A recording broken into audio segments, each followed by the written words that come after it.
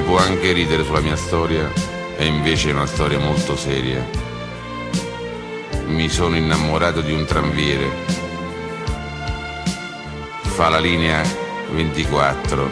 Ogni giorno lo aspetto alla fermata obbligatoria e lui la salta.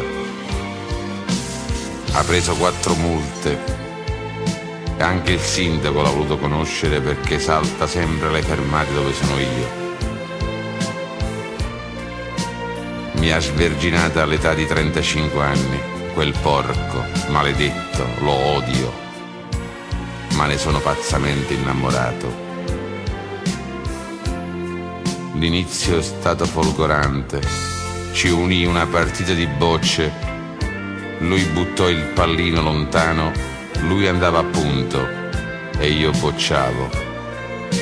Lui a punto e io bocciavo. Io fui bocciato e lui andava a punto. Ci costruimmo nella periferia di Varese un monolocale di, di due centimetri. Pagavamo anche poco, 450 mila lire all'ora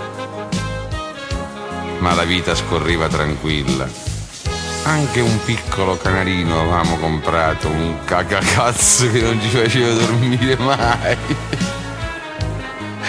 Era piccolo ma aveva una voce tutti tutti tutti tutti tutti tutti tutti sembrava Don Bachi. Lo mandai alla fiera degli uccelli e mi ritornò con una diarrea. Mi fece un po' pena, lo mise a letto e lo curai. Che sto piezze merda.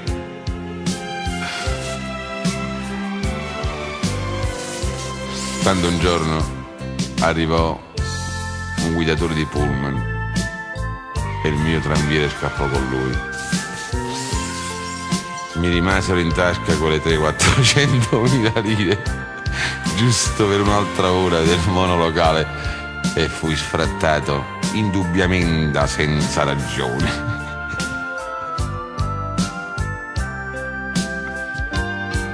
Adesso che ho 40 anni, guardo i fili del tram e vanno sempre nella stessa direzione.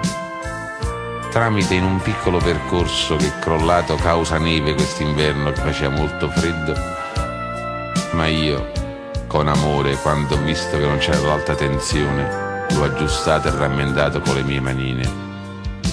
Ora il tram scorre più veloce perché sa che è un filo d'amore. Quanta guai che ci passate per tranvire, mannaggia! Questo sfogo me lo permettete che viene fuori tutto il mio sud. Altre che milanese e milanese. Marrate miei chita è morta, mi è rovinata la vita. Tranvire e merda.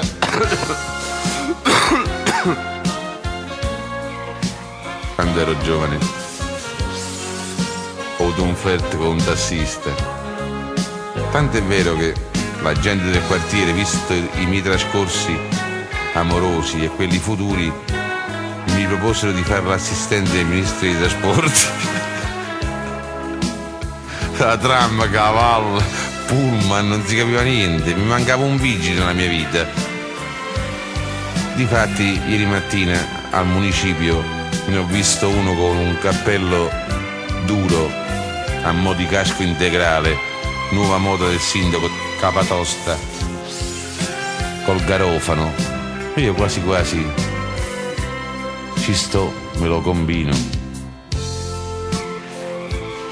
ma ho paura del futuro. Sono stato un po' sfortunato nella mia vita e non vorrei rincorrere in un altro mezzo non mio. Ma che mi fa? Sto da purghiava. E allora io il vigilo me lo tengo. Speriamo che a furia di multe ci possiamo mantenere con 300-400 mila lire al giorno e possiamo andare avanti facendoci una famiglia. Oddio, una famiglia, una famiglia è merda, ma una famiglia è sempre una famiglia. O c'è la famiglia o ti acchiappa una triglia.